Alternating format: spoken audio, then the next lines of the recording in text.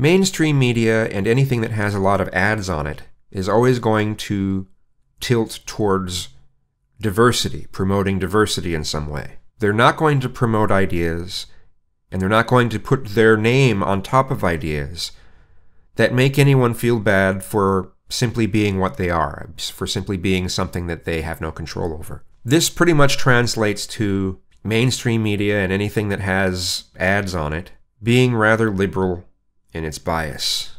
So it makes those that aren't liberal feel like they're being attacked.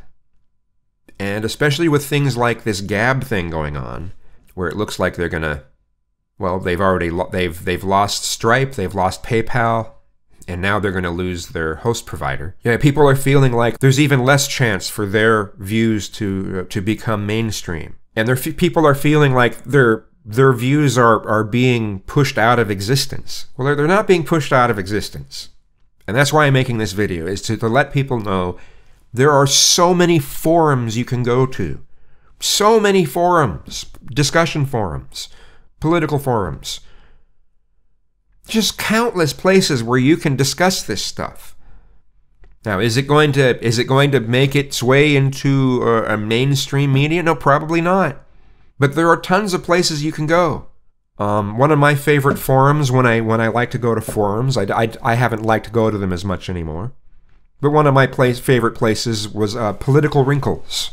If you want place somewhere that's really really edgy, you know, you want to go into the race realism and just flat out racist places, but you can say anything you want. Check out somewhere like Stormfront. You know, as, as, as one that's that's more used, that you can see edgy stuff constantly. Yeah, if you want to post edgy stuff, there are tons of forums. Tons. Just just type in it just just do a Google search on discussion forums, political forums. You'll find them. Stop feeling like like you're you're your views aren't allowed. Well, they're probably some of some of the views, depending on what they are, probably won't be allowed on some of the mainstream platforms for the reasons I've already discussed. Mainstream media and places that put out a lot of ads, they will choose to put out material. They'll take making people feel bad for having a belief system they can change, that they can choose.